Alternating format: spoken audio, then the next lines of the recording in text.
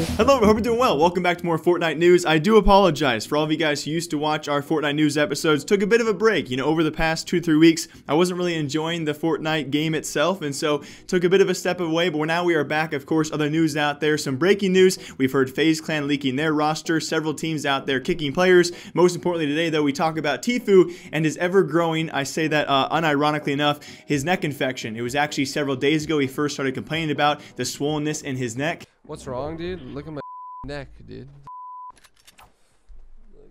You see that? Eventually, he got antibiotics to help it treat this. It did not work, and so yesterday he tweeted out that apparently he was going to the emergency room. And just this morning, as of a couple of hours ago, he did update us on the situation. Although, unfortunately enough, TLDR for all of you guys who are curious, it's still not fixed. I don't know. I don't know yet. I went into the ER, but they CT scanned me and they couldn't tell what it was, so I had to go see another doctor. And despite all the jokes out there, it seems very poorly timed. You know, the Corinna stuff had broken out about this and people saying, oh, it must have been her. So despite that being maybe a funny joke, it does seem like it could be a very serious issue. I was very surprised to see him streaming today, although he has apparently no clue what it's going to uh, do or what it actually is. Hopefully he was told he could stream and talk because that's not an, area of the body you really want to risk streaming and talking a lot if it's already swollen. Hopefully going to be resolved as well because uh, you could say almost more importantly, despite this being hopefully nothing too serious. Even more importantly as well, the World Qualifiers, the Open Qualifiers for a World Cup, the most competitive tournament and qualifiers likely in the history of Fortnite, are just three weeks away. And although I will say a neck injury or this is probably not going to hinder him too much, it's definitely not going to help him in what's going to be probably the hardest thing to qualify for. He and along others, uh, many other pro players out there have ever tried to qualify for. So updates for all of you guys. Unfortunately enough today, I will keep you guys posted in the future, but today there are no updates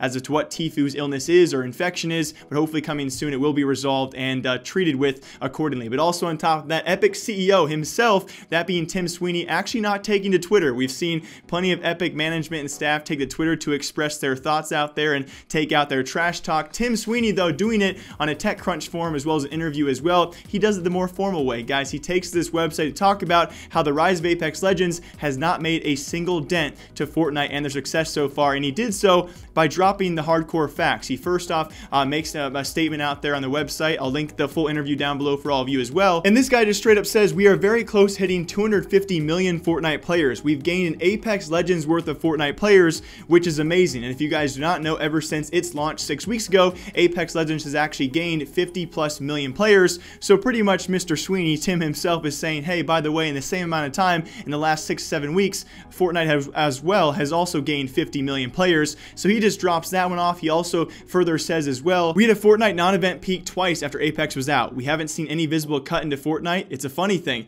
The only game you can see where its peak cut into Fortnite playtime is FIFA. It's another game for everybody, wildly popular around the world. So pretty much Mr. Sweeney, and also backed up by several other sources out there, it was actually SuperData. I will link it down below for all of you. Their recent release as well also places Fortnite on top of Apex, number 5 and 6, for the top grossing games uh, during the February months. And along with that, of course, many of you guys have heard as well, Apex Legends breaking the record for Battle Royales in launch months, grossing 90 plus million dollars. But even with that record breaking number, they are still below Fortnite in terms of gross, uh, gross income throughout the month of February, which goes to show you Fortnite is still grossing more than Apex during Apex's, I guess you could say, growing into their peak month. I'm very curious what March is going to be like as well as April because if you guys do follow Apex Legends, they have now released their Battle Pass, which was not included in those February So it's going to be very curious to see how both these Battle Royales do play it out. Apex breaking their records, but Fortnite certainly based off the data and based off Mr. Sweeney remains king and remains on top and likely to only do so in the future as well because remember, like we said earlier around the Tfue issue, we are coming up on the biggest Fortnite event ever, the 10 weeks uh, following up to the World Cup qualifiers, $1 million per week, the actual World Cup and the tens and tens of million millions of dollars there, and the closing weeks of 2019 also $1 million per week.